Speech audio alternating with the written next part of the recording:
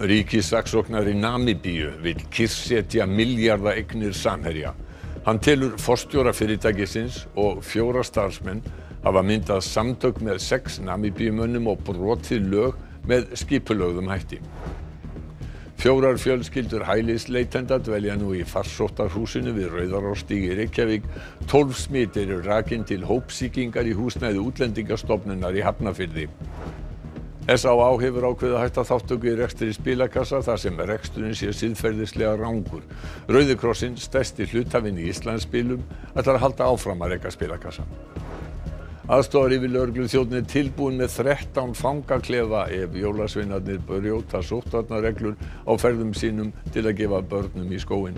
Landlæknir telur ekki nauðsynlegt að spritta smákökur sem settar eru út í glugga fyrir þá félagar í kórum Langholtskirkju á aldrinum þriggja til fimmtíu ára tóku rafrænum höndum saman og sendu landsmönnum fallega jólakveðjur þar sem ekki er hægt að halda jólatónleika núna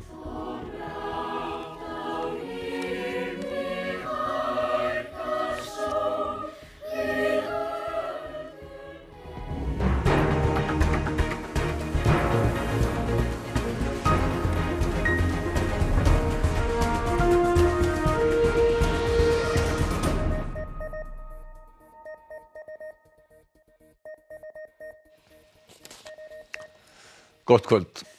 Einn sexmenninganna sem nú sitja í fangelsi í Namibíu vegna aðildar að Samherjamálinu átti í samskiptum við starfsmann Samherja um áhyggjur af því að yfirvöld kæmust á snoðir um leynigeislu til Dubai að því er framkemur í greinargerð ríkissaksóknara Namibíu.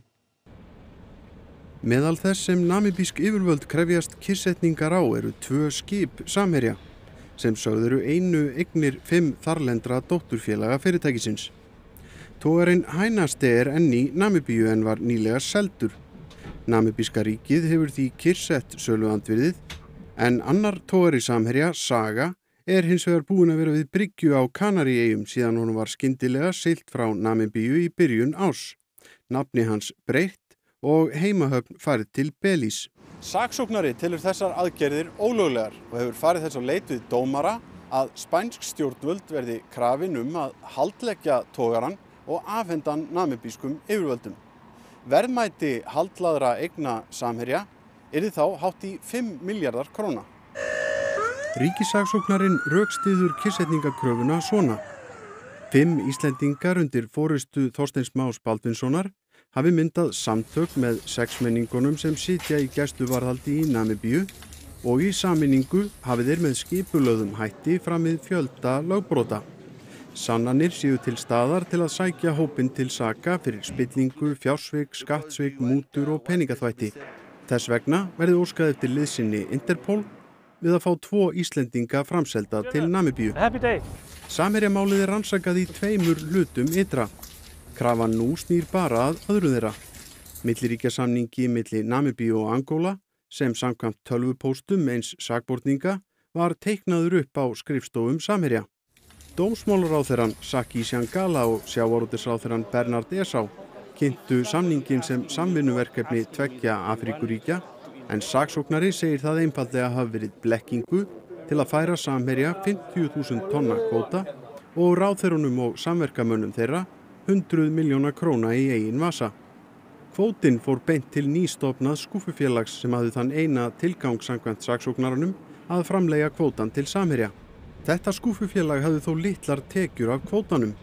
Megnið af greiðslum samherja fyrir hann endaði í Dubai í félagi eins sakbortningana James Hatui Kulipi, stjórnarformans ríkisútgerðarinnar Fiskor. Alls tæplega halfur miljardur íslenskra króna, sagður fyrir ráðgjöf sem ríkisaksóknari segir blekkingar og félagið líkilinn að því að koma peningum frá samherja til áhrifamanna í Namibíu. Fósarsmenn samherja hafa ávalt neita því að hafa brotið nokkur lög og sagt allar þessar greiðslur eðlilegar. En þegar eigandi álandsfélagsins í Dubai var handtekinn í november í fyrra var einnig lagt hald á símanans og í honum reyndust aðteglisverðar upplýsingar um samskipti hans og starfsmanns samherja frá því fyrr sama ár. Greint er frá þeim í greinargerð ríkisaksóknarnas. Úr tölvupóstfangi undir öðru nafni hafði James sendt samherja beðni þann 28. mæ 2019. Þar saðist hann telja nöðsynlegt að fyrirtækið myndi útbúa pappýra sem myndi láta líta þannig út að sá hluti kvótalegunar sem greittur var til Dubai hefði í raun verið greittur með fiski sem sendur var til Angola og þannig væri hægt að draga aðtikli rannsakenda frá fjármununum sem greittir voru út eins og sagt var um greiðslutnar til Dubai. Samdægus bast svar frá Samherja. Jón Óttar Ólafsson, ráðgjafi og fyrirverandi rannsóknulauruglumæður sem unnið hefur fyrir Samherja í nokkur ár, var til svara. Ok, ég skil. Er einhver hætta á því að upphæðinar sem greittar voru úti uppgötist? Þeir vil ekki búa til neina pappýra sem fjalla um fiskflutninga en að síðan komi slóð peningana í ljós. Og stuttu síðar skrifaði Jón, ég held að þeir mun ekki hafa upp á þeim greiðslum sem greittar voru landi. Við höfum lokað þeim reikningum. Auk þess hafa þeir ekki burði til þess að fara á eftir flóknum aflandsviðskiptum. Óskað var viðbraða frá Samherja og Jóni Óttari Ólafsinni vegna málsins í dag. Annar forstjóri Samherja hafnar ásökunum ríkisaksóknarans í yfirlýsingu en neytar að svara nokkru um þessi samskipti. Nánari fjallaði um málið á vef okkar rúf.is. Átta umsækjendur um alþjóðlega vernd hafa smittast af koronaveirunni í þessari viku, þar af áskamalt barn. Talið er að smitið hafi borist að milli fólksins á sameiginlegum snertiflötum í samign. 12 koronaveiru smitt greindust innanlands í gær. Aðeins eitt þeirra smituðu var ekki í sótkví. Tíu smitt greindust á landamærunum. Sex innanlandsmitana eru rakin til búsetu úrræðis útlendingastofnunar á vegum félagsstjónustu hafnafjörðar fyrir umsækjendur um alþjóðlega vernd. Öll sex voru í sóttkví en í heildina eru átta smitt rakin til hópsíkingarinnar. Við talaðum það allan tíman að, að svona hópsíkingar eða klasasmitt muni komu. Þetta er náttúrulega vonbreiði sjálfsögðu en, en, en þetta er bara það sem við erum búin að eiga vona að geti gerst. Farsóttarhúsið á Rauðaróstíð tók á móti 12 úr þessum hópi í gær. Þar á meðal eru fjórar barnafjölskyldur sem dvelja saman í tveggjamanna herbergjum. Þeim líður uh, ágætlega ennþá. Uh, það eru ekki mikil enginni sem betur fyrr. Við erum hérna til dæmis með einsáfskamalt barn sem er síkt en fóreldrarnir ekki, allaveg ekki ennþá. Uh, svo er það líka þannig að við erum með fóreldrar sem eru síktir og þurfa að taka með sér ung börn í einangrunina. Þannig að þetta er svolítið blandað hjá okkur núna. Þau fá að vera saman í herbyggi svo lengi sem að það rúmast. Við höfum reyndar þurft að sko splitta upp fjölskyldum þannig að þau fái kannski að vera í herbyggjum samhliða eða á mótu hvort öðru en herbyggin er ekki stór, þetta eru tveggja manna herbyggi. Útlendingastofnun var nýrlega gaggrind fyrir lélegan aðbúnað og að vannrækja sóttvarnar ástefanir í úrræðum fyrir umsækjendur um alþjóðlega vernda á Ásbrú í Reykjanesbæ og á Grensásvegi í Reykjavík. Stofnunin hefur vísað ásökununum á bög. Þetta er húsnæð á vegum félagsstjónustu Hafnarfjörðabæjar og uh, ég held að sínum bara í góðu lægi með húsnæði sem slíkt. Það er aftur á móti sameigileg snertifletir og sameigileg aðstafa þarna. Þannig að það var ákveðið að, að gera þetta svona til þess að draga á líkum á því að fleiri myndu smitast í þessum stegagöngum. Það er allt skoða þegar svona smitt kom upp. Uh, hvaða aðstæður er baki, hvort það sé eitthvað að hérna, koma, gera til að koma í veg fyrir að svona enda þekki sig. Íslensk heilbriðisjöföld hafa undirritað samning við bóluefnaframlegendan Pfizer. Samningurinn kveður á um 170.000 skamta af bóluefninu sem duga til þess að bólusetja 85.000 manns. Fyrirhauða er að fyrstu skamtarnir, umlega 21.000, komið til landsins um áramót. Gert er ráð fyrir að Livjastofnun Evrópu veiti livinu markaðslifi í síðasta lagi 29. desember. Ísland hefur tryggt tvo samninga við bóluefnaframleiðendur Pfizer og AstraZeneca og svo þriði er í undirbúningi. Samtals tryggja samningarnir þrýr bóluefni fyrir rúmlega 280.000 manns. Bólusetja þarf 250.000 hér á landi til þess að ná hjarðónæmi. Leiðtóðar Evrópusambandsríkjana ítrygguði í dag að bólusetning geti hafist strax og samþykki Livjastofnar Evrópu á bóluefni Pfizer og BioNTech í fyrir. Leiðtóðarnir komið sér saman um að uppfæra markmið sín í lofslagsmálum í nótt. Tveggja daga leiðtóðafundi lauk í Brussel í dag. Evrópusambandsríkin stefna nú á að draga úr losun gróðurhúsaloftegunda um 55% fyrir árið 2030 frá því sem var árið 1990 en fyrri áallun miðaði við 40% minni losun. Leiðtógarnir komust að niðurstöðu eftir fundahöld fram á nótt og segja hana afar mikilvæga. Dafür hat es sich auch gelohnt, eine Nacht nicht zu schlafen. Ich möchte mir nicht ausmalen, was gewesen wäre, wenn wir ein solches Ergebnis nicht hätten erreichen können. Framkom í yfirlýsingu um stöðu heimsfaraldursins að von er á að bóluefni Pfizer og BioNTech sem byrjað að vera nota í Breitlandi í vikunni verði samþygt innan ESB fyrir árslokk. Aðeins lengra er í umsögn Livjastofnunar Evrópu um bóluefni Moderna og AstraZeneca sem bæði hafa gefið góðaraun í prófunum. But it's vaccination and not vaccines that saves lives. I called on all the member states to finalize their preparations for the start of vaccination we stand ready to support. Þá var staðan í Brexit-málum til umræðu en flest bendir til þess að breytar yfirgefi sambandið án samnings í árslokk. Breska pundið tók skarpa dífu eftir að Boris Johnson tjáði sig um gang viðræðna í dag. It's looking, you know, very, very likely that we'll have to go for a solution that I think would be, you know, wonderful for the UK. We'd be able to do exactly what we want from, uh, from January the 1st. We have not yet found the solutions to bridge our differences. One way or the other, in less than three weeks, it will be new beginnings for old friends. Lögreglan á Vesturlandi óskaði síðdeist eftir aðstóða sérsveita ríkislögreglustjóra vegna sprengiefni sem fannst í sumarbústað í greind við Borganes. Lögreglan stöðvaði ökumann sem var undir áhrifum fíkniefna, gerð var húsleiti í sumarhúsinu þar sem efni fannst. Sprengjudeit sérsveitarinnar kom á vettvang og fjarlæði efnið. Samkvæmt upplýsingum frá lögreglunni lauk aðgerðum á vettvangi á sjönda tímanum í kvöld. Rannsókt stendur yfir og meira af lögreglumálum. Talsverðu viðbúnaða var við fjölbýlishús á Akureyri í dag þegar lögregla handtók mann í annarlegu ástandi. Lögreglan var kölluð á húsinu um hádegisbil vegna háaða frá pari og grunnsum heimilisofbeldi. Þegar lögregla kom á staðinn var konan komin út úr íbúðinni en maðurinn mjög estur og hafði hótunum við lögreglu.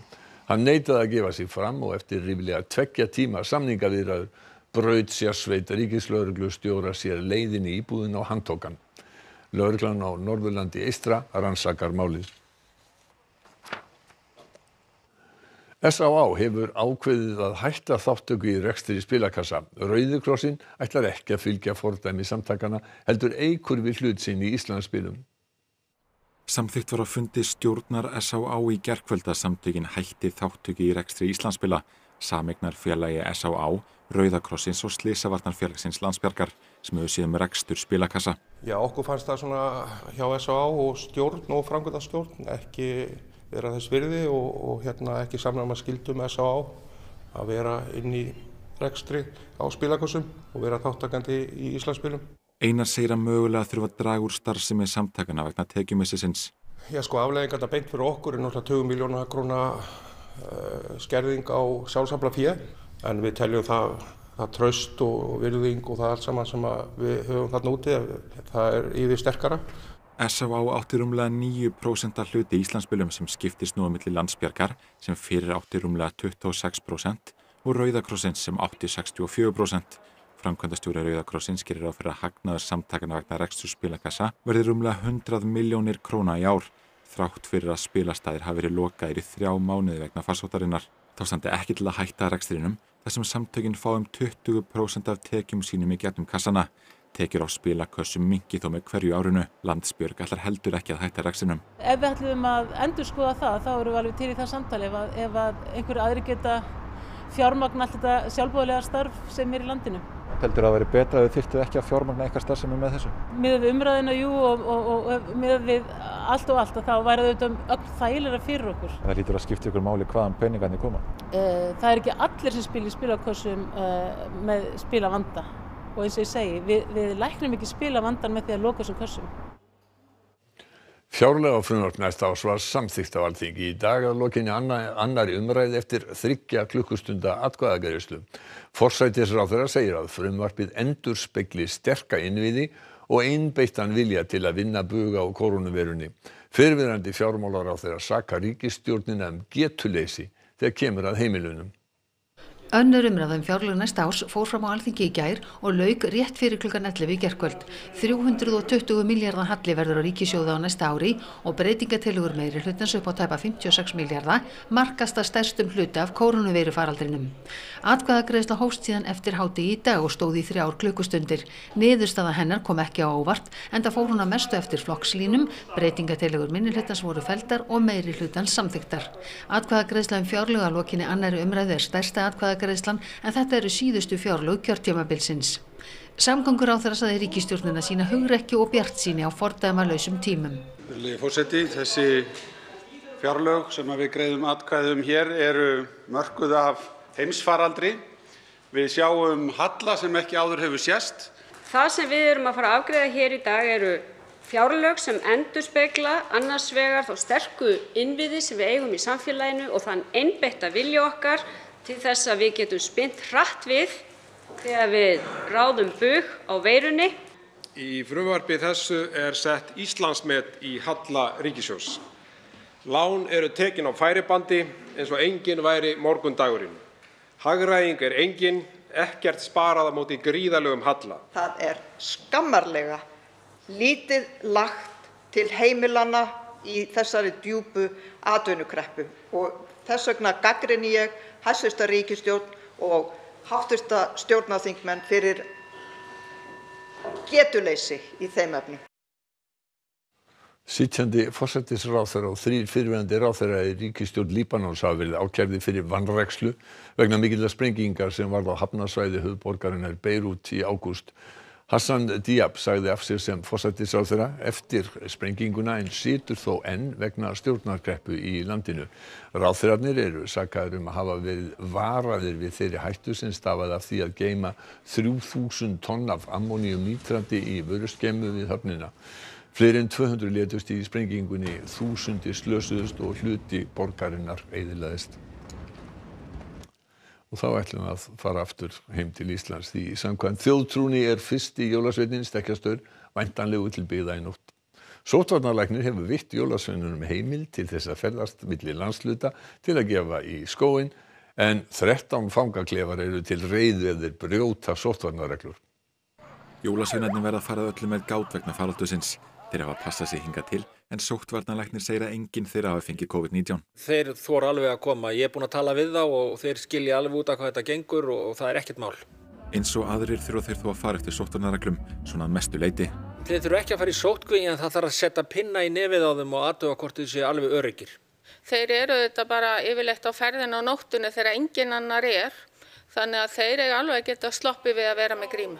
Samkvæmt venju verður stekkjastur fyrstur bræðra sinna til að lauma gjöfum í skóð þeirra barna sem hafa hagað sér vel.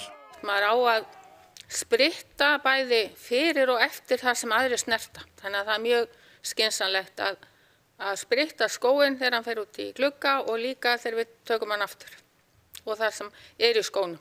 En ef það er smákaka? Það er mjög ólíklegt að veiran lifi lengi á smáköku, þannig að ég myndi nú bara að taka sensin á því. Hér áður fyrir voru sveinarnir þjóvóttir og bröðóttir, nupplöðu og léku og fjómenn.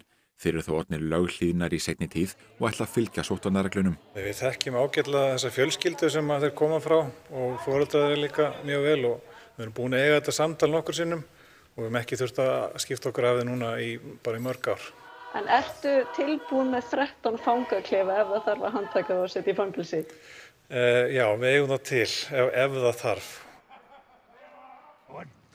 Og haldið að við sem ekki búin að finna hann stekkjastöður sem er nýkomið hérna niður á valaheðinni og er með gílegauð bróður sem með sér. Stekkjastöður, eh, ertu búin að kynna þér alla sóttatareglur sem að gilda hérna hjá okkur mönnunum? Ó, já, já, já, já, ég hef nú aldrei búin að því.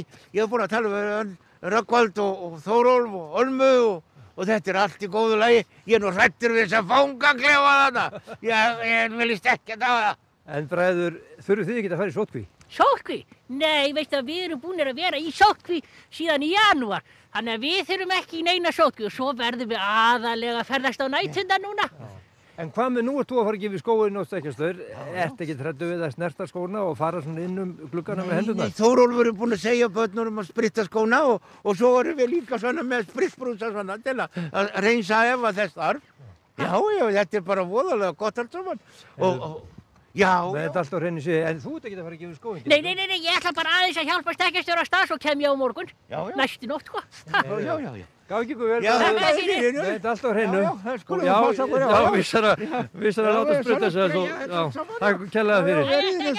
Og við segjum þetta gott hérna á leðinni Takk fyrir það Ágúst og þú skilja hverju til jólasveinuna.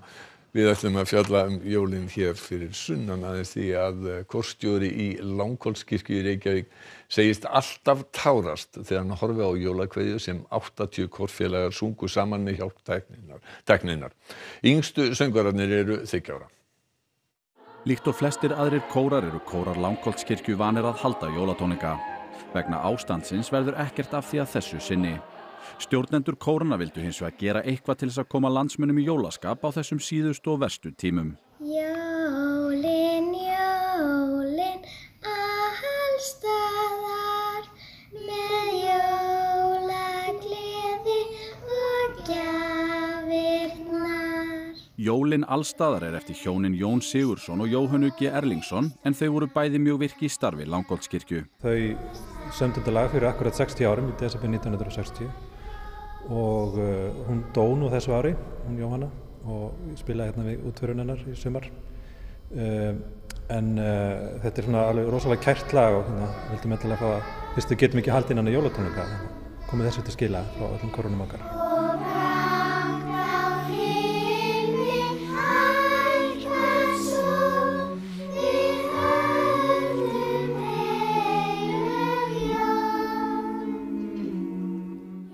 Félagar í öllum sex kórum Langholtskirkju syngja lagið sá yngsti þryggjára.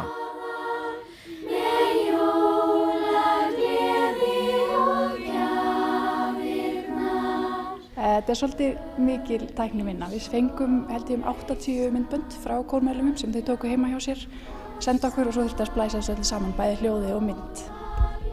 Hvernig finnst ykkur útkoman? Ég er bara að tárast í hvert skipti sem ég sé þetta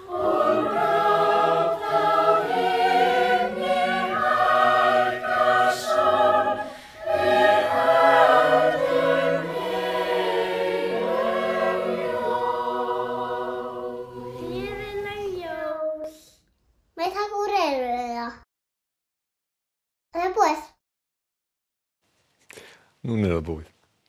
Sigurður Jónsson viðurfræðingur segir að austanátt verði ráðandi næsta sólarring viða kaldi eða stinningskaldi en hvassviðri með köplum við suðuströndina og á vestfjörðum. Samfellt rigning á suðusturland og austfjörðum en dregur úr úrkomu austast á morgun. Dáli til væta af og til í öðrum landslutum. Hiti á bylnu 3-9 stig. Sigurður flyttur okkur nánari spá þegar að Eva Björk Bindistóttir hefur flytt okkur fréttir af íþróttum en þetta er helst í hjá henni í kvöld. Spennan magnast á EM kvenna í handbolta. Rúsland og Frakland börðust um sæti í undanúrslitum í dag. Lín Eiríksdóttir, landsliðskona í fótbolta, er gengin til liðs við Píte og í sænsku úrvalstildinni. Mér fannst bara að koma tíma á að prófa eitthvað nýtt og fá kræfandi áskorun. Og Martin Hermansson og félagar leku í Evrópudeildinni í körfubolta. Og það er nógum að vera í golfinu út í heimi. Allra helsta í fréttin hjá okkur í kvöld. Ríkis saksóknari Namibíu vill kyrsetja miljardar eignir samherja. Hann telur forstjóra fyrirtækisins og fjóra starfsmenn hafa myndað samtök með sex Namibíumönnum og brotið lög með skipulögðum hætti. Fjórar fjölskyldur hælisleitenda dvelja nú í farsóttarhúsinu við Rauðarárstígi Reykjavík átta smitt eru rakin til hópsíkingar í húsnæði útlendingastofnar í Hafnarfyrði. S.A.A. hefur ákveðið að hætta þáttöku í rekstri spilakassa þar sem reksturinn sé síðferðislega rángur. Rauðikrossinn stærsti hlutafinn í Íslandsspilum ætlar að halda áfram að reka spilakassa. Næsti ljósvakafréttatíminn er í útvarpinu hérna klukkan tíu í kvöld á netinu segir vefurinn rú.is fréttir allan sólarhingin en þessum fréttatíma er lokið njótið helgarinnar og verði sæl.